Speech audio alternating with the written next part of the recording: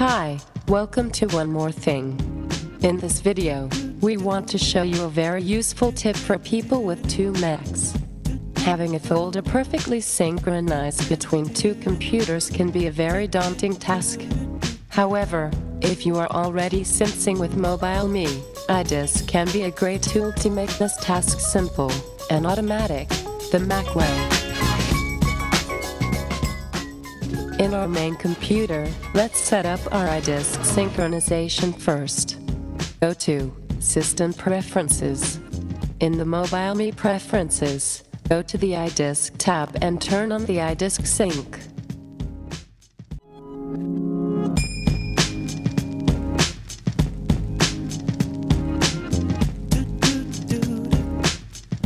After a few minutes, your iDisk will be mounted on your desktop.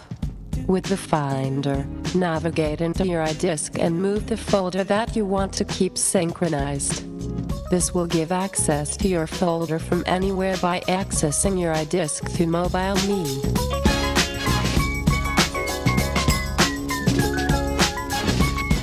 We also need to set up the synchronization with iDisk on the secondary computer.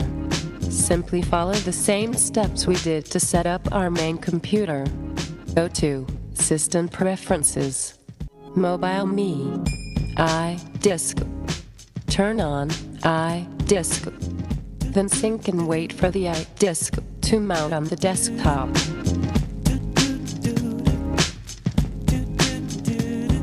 To try our new abilities to sync folders between two Macs, we are going to apply some changes to my synced folder.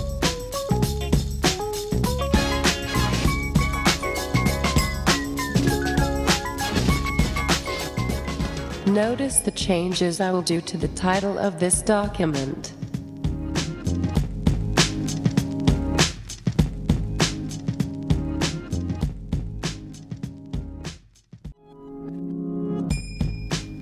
Then, I can just save the document to its original location and wait for it to sync with MobileMe.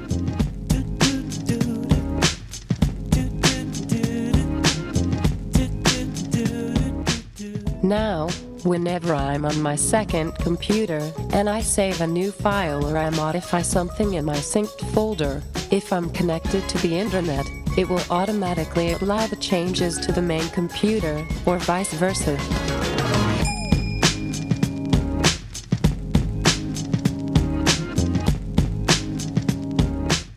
And there is one more thing.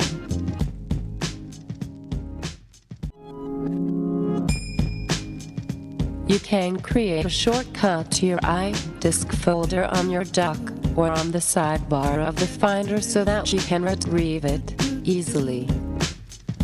This is a great solution with many possibilities. If you want to learn more, go to onemorething.ca